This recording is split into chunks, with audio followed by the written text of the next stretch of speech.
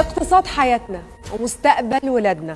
عشان كده مصر بتنظم المؤتمر الاقتصادي بتكليف مباشر من السيد رئيس الجمهورية.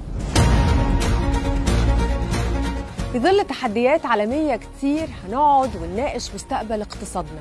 الكل هيعرض رأيه. مؤسسات الدولة قوى سياسية مستثمرين اقتصاديين وكمان المواطن اللي هو أصل الحكاية.